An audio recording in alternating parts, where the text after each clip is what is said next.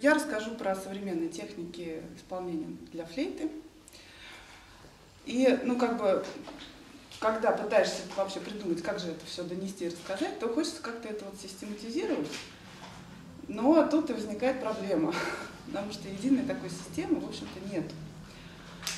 А, хотя первые попытки как-то организовать вот эту вот э, систему да, в одно единое целое, э, объяснение э, современных техник на, на флейте, ну, в частности на флейте, да, первая попытка уже в 50-м году была. Такой Бруно Бартолоцци, итальянец, он написал труд для всех деревяшек. То есть флейта, гобой, кларнет, фагот. Вот. Ну, естественно, если сейчас меня посмотреть, она уже как бы изрядно устарела, но это была такая первая попытка, которая простимулировала, в общем, э, в дальнейшем э, написание других трудов. И в этом смысле флейте повезло, потому что, в общем, для флейты написано больше всего таких вот э, трудов. Вот. И где-то 80-90-е годы было написано довольно много книг таких. Это Э, Пьер Ив Арто написал книгу, Роберт Дик, э, Кэрин Левайн. Вот я принесла, чтобы посмотрели. У меня есть Кэрин Левайн, двухтомник у нее. И у нас э, вот Олег Танцов написал книгу, но это было уже вот несколько лет назад буквально. Но зато на русском. Но зато на русском, да. Вот. И, ну, то есть, в общем, достаточно большое количество таких книг. Сейчас есть и разные сайты, где можно, ну, например, там, набрать э, ноты, те, которые тебе нужно, чтобы звучали мультифоники, и там тебе будет э, разные варианты аппликатуры. То есть, ну, в принципе, информация есть, но э, единой системы, опять же, да, скажу, к сожалению или к счастью, нету. Вот, поэтому, то есть разные, например, приемы, они будут, могут да, отличаться в написании, в обозначении, э, вот в, в разных, в разных композиторах. Вот, и, соответственно, ну, тут есть как бы свои плюсы и минусы, естественно. Э, для, ну, для нас, как для исполнителей, это, ну, в общем, некую трудность тоже создает, да, потому что мы зачастую для того, чтобы понять, что имеется в виду, в общем, тратим больше времени, чем ну, на само изучение произведений. Да? То есть поэтому очень важно, чтобы была легенда да, для э, исполнителя, где каждый, каждый прием описывался ну, подробно, да, чтобы мы понимали, что хотите. Вот, поэтому насколько подробно вы напишете, настолько мы точно и сыграем. Вот как бы э, есть такой момент. Но с другой стороны, вот то, что нет единой системы, в общем-то, тут есть и какие-то плюсы тоже свои, потому что ну, это такой творческий процесс, когда ну, вот все что-то происходит, что-то новое, что-то трансформируется, что-то какие-то новые приемы возникают. Вот, поэтому, ну, в общем, тут это неплохо, не хорошо, это вот так. А, э, я покажу, я какие-то ноты принесла, да, сейчас я, наверное, просто покажу какие-то приемы. Вот, вы тогда задавайте вопросы просто, если там что-то интересное или непонятное, или еще что-нибудь. Можно начать, например, с серии приемов, э, группы приемов, да, так называемых шумовых те, которые используют э, шум воздуха. Есть э, два положения флейты, при котором можно играть шумом воздуха. Да. Это открытое положение, ну, обычное, классическое, и закрытое положение флейты, когда полностью закрывается отверстие флейты. При открытом положении э, возможно, э, ну вот, возможно разные градации как бы, э, шума и э, звука. Вот. То есть, соответственно, может быть просто звук, может быть просто шум. И между ними возможны разные варианты. То есть можно, возможно плавный переход, например, или может быть э, половина шума, половина звука.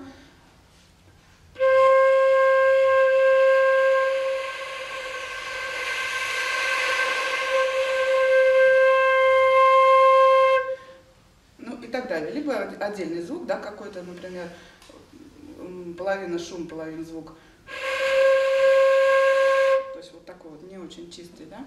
Тут опять же вот, э, смотря что требуется, тут вот э, э, от этого будет зависеть, что, что мы будем делать. Э, как это обозначается, тут есть, э, опять же, варианты. Э, в основном пишут просто белую круглую ноту, если обозначают полный шум. Вот. Но бывает там квадратики пишут, например, ноты, ноты в квадратике. Например, если это полный шум, это белый, если э, шум со звуком, то это, например, может быть квадратик, но черный. То есть, опять же, тут важна легенда, да, чтобы как точно понимать. А, при закрытом положении э, флейты, соответственно, э, тоже будет слышна звуковысотность.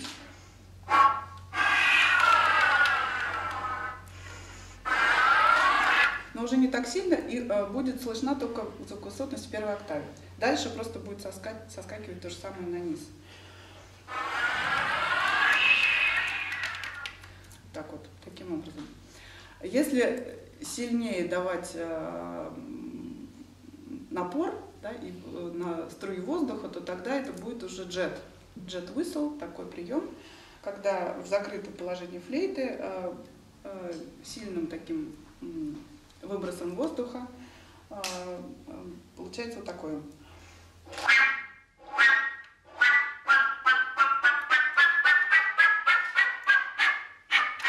Да, и, соответственно, тоже только первая октава. Дальше, чем, а, чем выше будет звук, тем будет меньше обертонов и, соответственно, меньше а, звука. И со второй октавы уже практически ну, нету, то есть э, уже вот такой вот что-то. Поэтому первая октава. И э, что касается всех приемов, которые используют, э, э, ну, в которых в, в основе да, обертона лежат, э, ну, это игра обертонами и какие-то вот такие шумовые эффекты, то это в, в основном это первая октава э, по написанию, потому что дальше, чем, чем выше, тем меньше обертонов. Чем выше аппликатурно, я нажимаю. Вот, соответственно, если, например, говорить об обертонах, да, ну, сейчас я отвлекусь немножко, то э, чем ниже я нажимаю аппликатурную ноту, да, тем больше у меня получается обертоновой серии.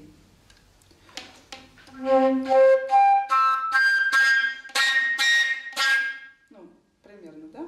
А если я возьму там, э, например, си, да, второй октавы, четвертый, он такой вот с трудом. А,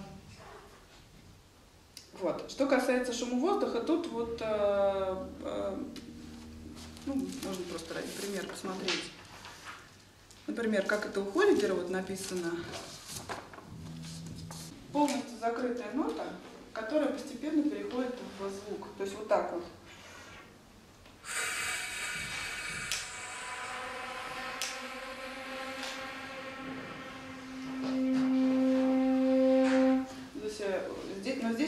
Обозначает, да, то есть э, это написано у него, что сначала вот из ничего, но не так из ничего, да, не открытое положение, а именно из закрытого. Это написано там в легенде, по-моему. Вот, то здесь у него вот такая вот кругленькая нотка белая. Потом здесь еще можно у него увидеть, э, сейчас, по-моему, уже это у него а, вот, например, ну, тогда уж если открыли эти ноты, да, можно здесь пойти посмотреть. Вот, э, например, вторая строчка, да, э, вторая строчка белая нота, да, белая нота и написано под ней э, ш, и, ну и дальше другие звуки, да. То есть, да, все, что связано еще с шумом воздуха, тут возможны, возможно их дополнять разными звуками и ну, произношением каких-то, может быть, слов или, или букв, да. Здесь написано еще стрелочка вверх, что обозначает вдох. А, да? Опять же, шум воздуха э, возможен с, с вдохом. Лучше это слышно, конечно, при закрытом положении флейты, да, потому что когда открытый, то это как вдох, как вдох, в общем-то. основном резонанс не слышно флейты. Когда это сделается в закрытом положении, здесь еще с э, звуками.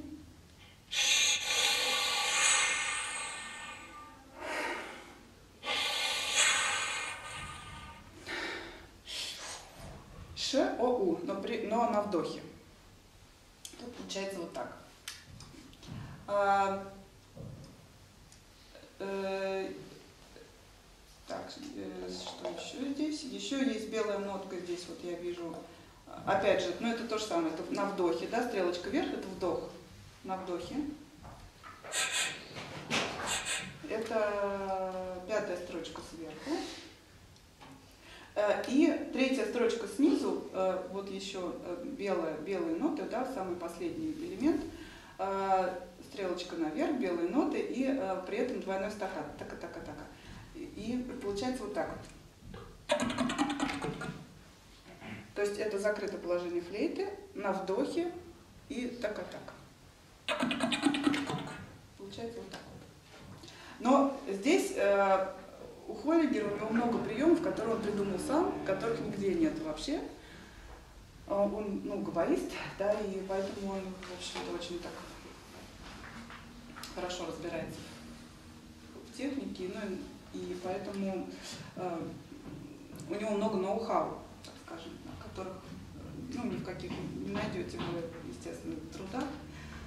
Вот, поэтому, э, ну, так же, как и, например, Шарина, да, композитор, который э, много придумал своих приемов, которых тоже нигде нет. Да? Но Шарина работал, э, он не сам играет, он работал много с флейтистами.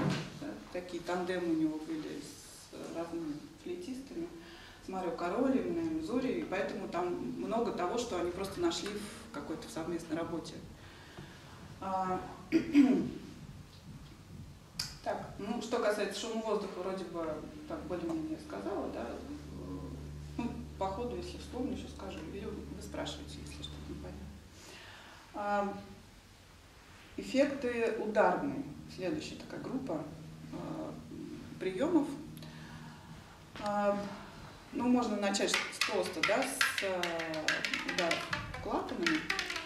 Тут есть э, не, некоторые нюансы такие, что а, ну, во-первых, опять же, да, звучит в основном только нижняя первая октава. Если я начну играть вторую октаву, то ну вот уже дальше как бы, ну так, чуть-чуть есть что-то, но уже это, резонанс флейты не, не настолько сильно слышно. Если, а, например, играю, играю я вниз первую октаву,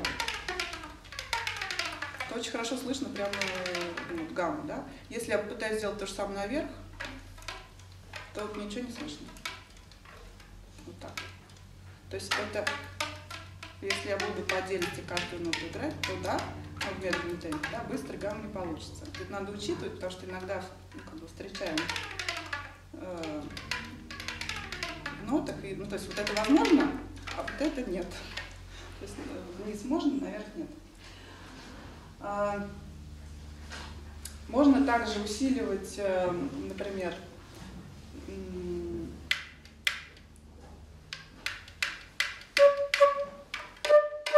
ну просто какую-нибудь ноту, например, да, дополнительно ударом по клапану. То есть получится просто такой, ну как бы больше акцент. А, как правило, это обозначается крестиком просто. Ну, опять же, могут быть варианты, но, как правило, крестик вместо ноты крестик.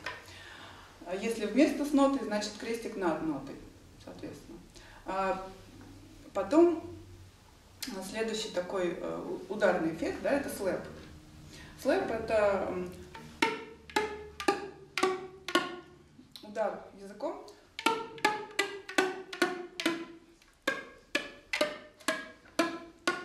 Вот, и опять же, первая октава.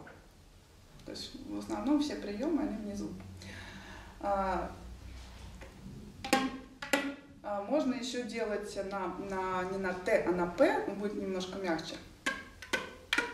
Ну, то есть сильно мягче. Но это тоже как вариант. А, Потом есть э, прием, который называется тангрем. Он исполняется в закрытом положении.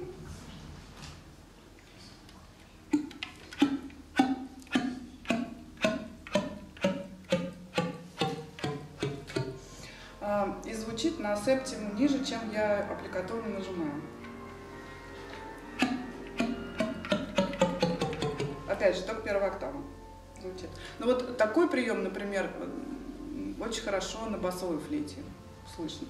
То есть чем, чем больше флейта, тем будет лучше. То есть там прям такой получается хороший э, щелчок. А, так, что касается ударных приемов, я подумаю. А, еще есть вот, э, я встречала у Шарина э, такой прием, да, то есть это на, я нажимаю клапан, и на отзвуке. Вот, но это работает только в одном, в одном вот на, на, на радиезе. Как бы на, на отзвуке. То есть я не нажимаю, а я наоборот отпускаю. Это у него в, э, вот здесь можно посмотреть. Часы Бергсона пьеса. Да, то есть это на, на, как бы на отзвуке. Это, он такой очень-очень тихий, но если, в принципе, у него вообще многие пьесы, да, на, на грани как бы слышимости такие. И если тихо в зале хорошая акустика, то очень хорошо слышно. Он такой необычный. Такой. Вот. Вообще Шарина тоже у него, конечно, для флейты много произведений для флейты соло, и они такие все, как, как этюды, какой-то технический прием на один или на, на несколько. А, там, ну, как, как правило, нот таких вот обычных нету. В основном это какие-то современные приемы. И очень часто именно то, что он сам придумал, нашел. Если взять вот эту пьесу, да, здесь, например, вот такой есть прием, который я даже не знаю, как назвать. Ну, то есть он основан на, а, на бертонах, да, но это закрытая, вот можно да, первую страницу открыть, вот это вторая нотка такая маленькая. А, то есть от ноты, аппликатурная нота до я да, закрытое положение флейты.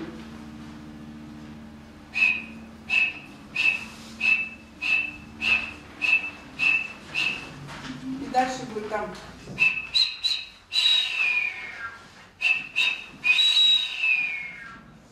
Дальше вот на, на, на таком приеме, собственно говоря, вот э, один из приемов, на котором построено это произведение, его нигде в общем, опять же, нету, и как его назвать, тоже я не знаю. Закрытый э, свист. Ну, это обертон, на обертонах, да? Он довольно трудно э, извлекается, но э, когда уже понимаешь, это делать, в принципе, это все.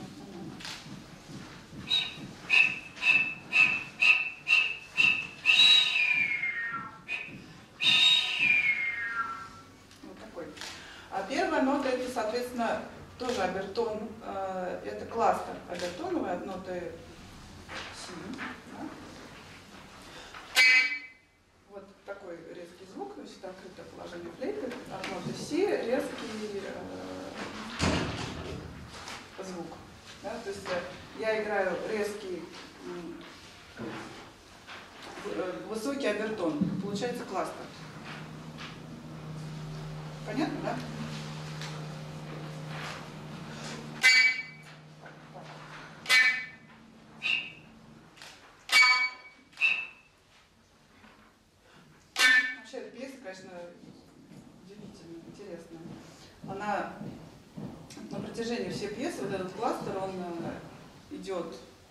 ритмично отбивая, отбивая ну, такой вот да, какой-то ритм равномерный. А, и, а между ним, э, собственно говоря, происходит что-то что, -то, разное. А, это Шарин вдохновился идеями э, Бергсон, да, часы Бергсон, собственно говоря. Э, Бергсон из исследовал, да, как время, как люди по-разному реагируют на время, как они по-разному его воспринимают. И он на своих лекциях э, делал такие эксперименты, например, там, стакан с водой, клал кусочек сахара, и все смотрели, как растворяется сахар. И дальше обсуждали. Кому-то казалось, что там прошла секунда, а кому-то казалось, что там очень долго. Долгое время. И, собственно, вот эта пьеса, это есть такой, такой вот э, вдохновленный этим да, исследованием, а, что мы все по-разному воспринимаем время, и а, в зависимости от того, что происходит, что происходит, да, тоже по-разному воспринимаем.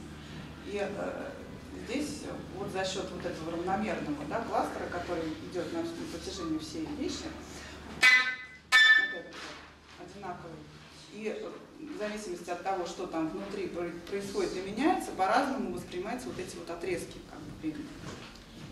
Очень интересно. Если взять Шарина, то ну вот я показала вот эти два основных да, приема. Ну, про Абертоны, наверное, я не знаю, вы, скорее всего, знаете, да, ну, э, если уж, ну, просто еще раз напомню, да, что вот, предположим, первый кластер, да, ноты Си. Э, если взять просто медленно, да, ноту Си, то от нее можно сыграть разных, ну, много, много обертон на, одном, на одной аппликатуре.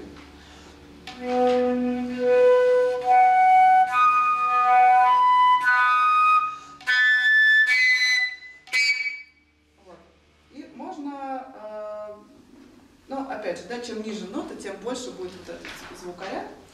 То, что здесь, это просто резкий, э, резкая фокусировка на самом ну, на высоком обертоне. А, можно играть, э, например, э, обертоновые трели. То есть это получается, что разный, разный обертон от ре сначала играю, потом от фа диеза. И э, это без бельянда э, или обертоновая трель, да, что называется. Ну, то есть без бельянда оно может быть и основано на обертонах, то есть разных обертонах, а может быть основано на разных аппликатурах.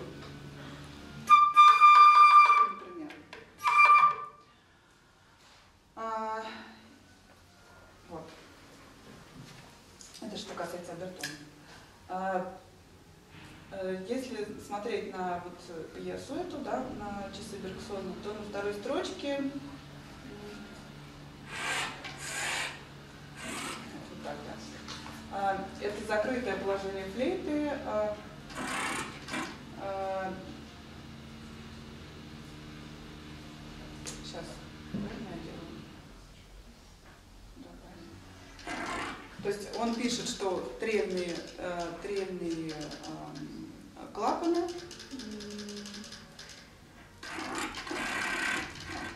Вот, участвуют, да? И... Да, опять же, не сказала, что когда закрытое положение и шум, да, то можно тифрулата. Да, тогда, собственно, получается вот такие звуки разные. На басовой флейте это ну, еще лучше звучит. Опять же.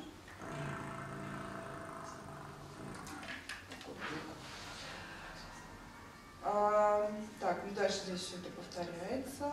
А, на, на первой странице последний элемент это как раз шум воздуха открытый, вот он так у него написан.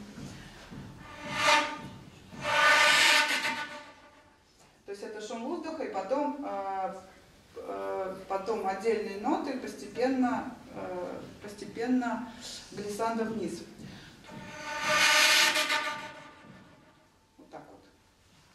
получается. Ну и на следующей странице это, вот, собственно говоря, тот же прием, да, новый прием. Видите, у него здесь вот такой вот ромбик, например, э, шум воздуха обозначает, и это открытое положение. Так.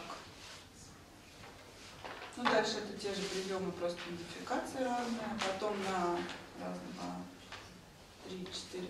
На четвертой странице возникают э, мультифоники. Да, мультифоники. Ну, это отдельная такая история. Да. Мультифоники, э, ну, к сожалению или, или не к сожалению, не знаю, они на, э, на каждой флейте, в принципе, могут звучать по-разному. И у кого-то вот э, там на одной флейте, например, берется мультифоник, а у другого не берется. И тут как бы, ну, то есть есть какие-то мультифоники, которые более-менее стабильные, они у всех нормально играются.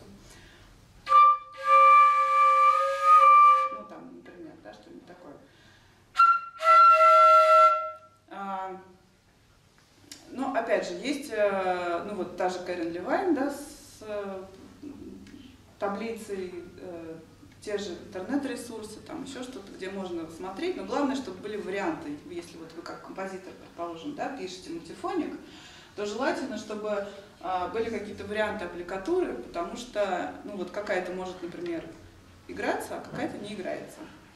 Ну, в силу каких-то разных причин. У меня, например, флейта немецкой системы, и тут тоже есть какие-то свои там нюансы, поэтому, ну, понятно, что я сама буду подбирать там, да, и смотреть, но тем не менее. И э, ну, есть э, серия мультифоников, которая на флейте играется довольно хорошо и стабильно, и на, на форте можно играть. Есть серия, которая играется только на пьяно, например. Э, есть мультифоники, которые не очень стабильные, то есть там, ну, например, там четыре звука, там два хорошо берутся, а два как бы, если повезет. Как-то так. Расскажите подробнее про закрытое положение, что что оно дает. И я просто видела в значениях в легенде где-то а, что-то вроде закрытое положение, Ну да, но это вот я только, собственно говоря, когда про шум рассказывала, я с этого начала, да, что вот открытое положение это обычное, как мы обычно играем. Закрытое это вот полностью закрытое отверстие. Вот. И, соответственно, ну, как бы возможны разные варианты разных приемов. Например, а, тот же джет, он играется только в закрытом положении. Да?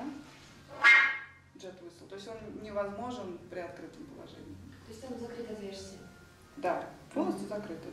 Там Грэм это тоже полностью закрытое положение флейты. А, не знаю, тот же, вот только что я играла вот это вот фулата закрытая, да? ну, тоже, да, как бы, если я играю фрулата просто, то будет совсем другой звук, да, абсолютно. То есть это полностью меняет, э, ну, звучание. А возможно переход между этими положениями, допустим, на одной ноте, которая берется? Вот у Холлигера первая нота, я показывала, да, это ну, именно вот это, понимаю. это с шумом, да, это, ну, как плавно возможно, да.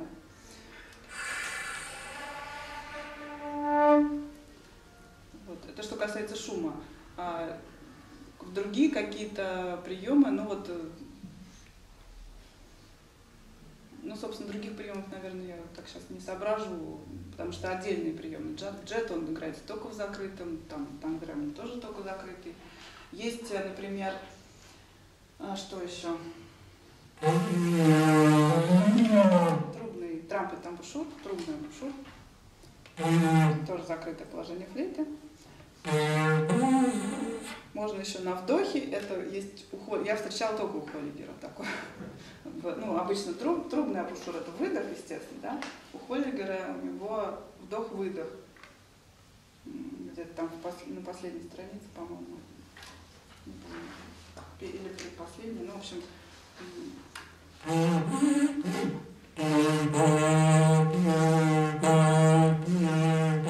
Вот так вот.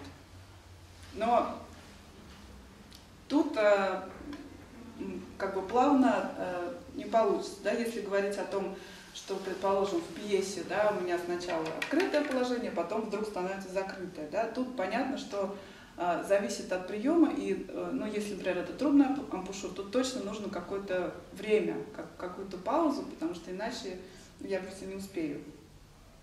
Да, если вот э, посмотреть того же Шарина, у него вот первые два приема, да, первый прием, он играется открытым положением, да, э, ну, вот этот кластер, а второй прием играется закрытым положением. Да? И опять же, да, тут э, нужно какое-то время. То есть понятно, что э, ну, моя исполнительская как бы, как сказать, обязанность, да, то есть научиться как можно быстрее это делать, но это довольно непросто да, особенно если это касается каких-то приемов, которые извлекаются не прямо вот так вот сразу. Вот.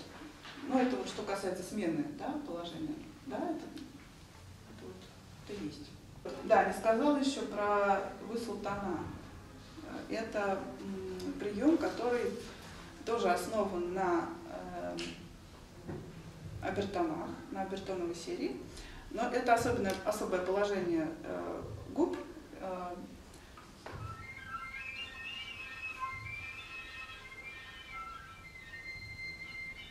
получается вот такой вот тихий-тихий-тихий, но очень красивый такой волшебный звук. Э, его, э, опять же, чем ниже нота, тем больше будет э, обертонов. Э, возможно играть какую-то отдельную ноту, но это довольно трудно. Но в принципе это можно.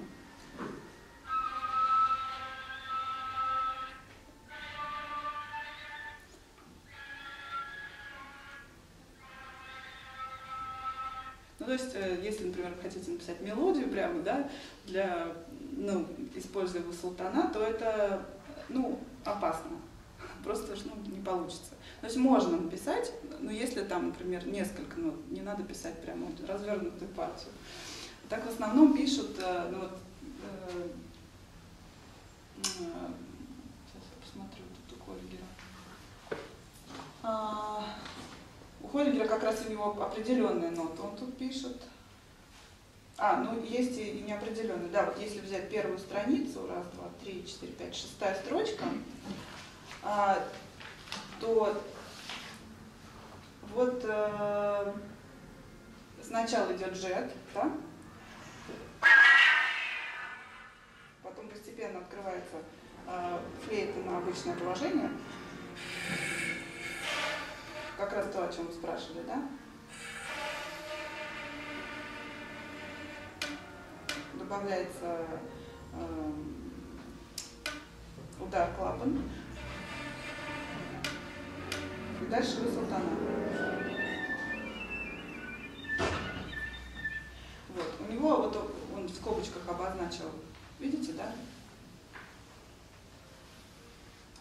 Видите? Э, ну, у кого есть ноты, там, тот видит, да, обычно пишут нижнюю ноту, основную, от которой, э, собственно, высота она есть. Дальше пишут такую вот кривую линию, если это просто, да, и ВТ высыл тона. Если нужна определенная нота, соответственно, тоже ВТ и какая-то определенная нота.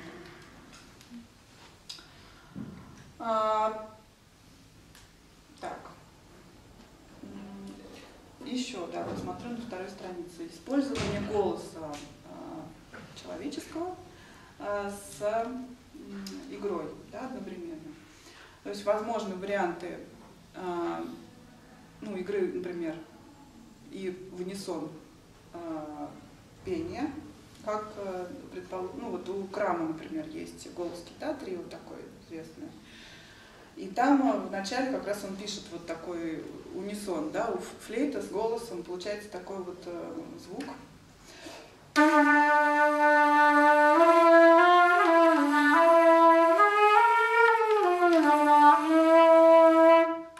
вот, э, ну, как усиление такое, немножко дребезжание, потому что ну, в унисон все равно не получается прям идеально, а, но получается такой, такой эффект. И можно, соответственно, петь что-то одно, играть что-то другое.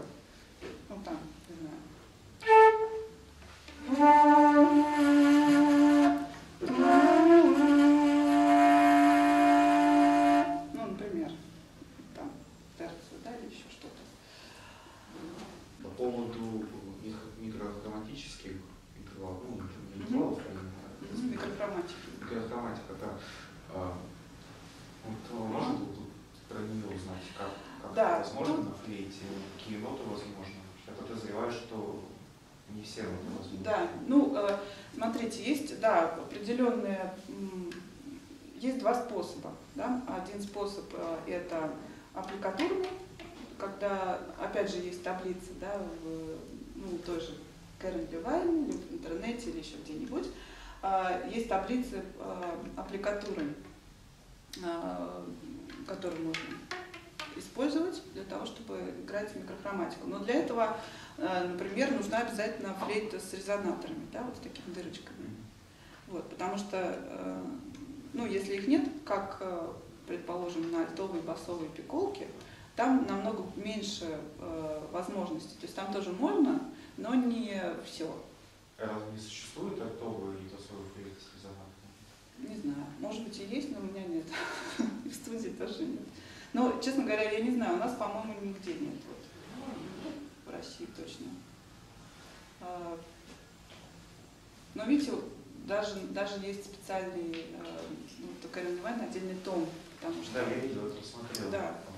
Ну и на пикл, соответственно, тоже там слишком маленький просто клапаны, поэтому там же занадто Ну, технически Да. Я не знаю, вот честно скажу, не знаю, есть ли альтовые. Наверное, есть. Ну, так, чисто теоретически, почему бы и нет. Басовые, наверное, там они Ну, басовые вряд ли, да. Басовые вряд ли просто не закроешь пальцем. Альтовые, наверное, возможно, но я не знаю. Еще вопрос вот, а, по поводу четвертой октавы флейты. Да. А, В Ну- оркестре, понятно, ее, скорее всего, не нужно использовать, потому что есть пиково, но в сольной игре. Да. Давайте я тогда про Нас всех учат в традиционной школе, что выше ре диеза не надо. Мгм. Давайте я тогда про- сначала договорю про микрохроматику, да, потом про четвертую октаву скажу. Э, Про микрохроматику еще как бы два варианта, да, то есть есть разные, ну, то есть, а, во-первых, аппликатурные, да, во- во-вторых, например, если нужны какие-то маленькие глиссанды или небольшие изменения, то тогда это возможно с, с помощью поворота флейты. Там вот так вот, например, да. А, Но, конечно, аппликатурно это будет более точно, но с другой стороны, если, э, ну там, э, не знаю, предположим, что-то нужно быстро, да, не знаю, какую-нибудь быструю там, понятно, что там какую-то супер аппликатуру, но там просто это ее надо учить лет 10, наверное, никто этого делать просто не будет. Вот, поэтому, ну, э, э, и не будет слышно, главное. То есть важно как-то так писать, чтобы было слышно, что это меняется именно вот микрохроматика, да, не- потому что если какой-то быстрый пассаж, там не успеешь просто ухом даже зацепить, что там что-то ну, такое есть микрохроматическое. А, Да, и, ну, и опять же, да, э, возможно и с помощью э, открытия вот, э, резонаторов, и просто есть отдельная аппликатура, там, э, которую Ага. можно использовать. А, Что касается четвертой октавы, то э, да, есть определенная аппликатура. Ну, это возможно только на, на очень там фортиссимо, да? Ну, понятное дело. А, Возможно, только на фортиссимо, опять же, ну, то есть это такой будет экстремальный как бы звук, громкий. Так, мне кажется, что э, приемы, они нужны не ради приема, да, а ради того, чтобы ну, какую-то идею да, воплотить.